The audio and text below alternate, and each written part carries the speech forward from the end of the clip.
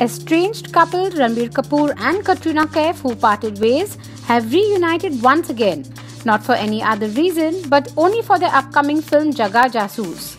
Recently, Ranbir and Katrina were spotted sitting opposite each other on the sets, while their close friend Ayan Mukherjee was seen in a serious conversation.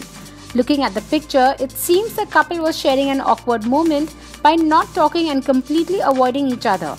The two will shoot together for the next 15 days in Morocco, and we do hope their work commitments might help them to bridge the gap. Stay tuned to Business of Cinema for more updates.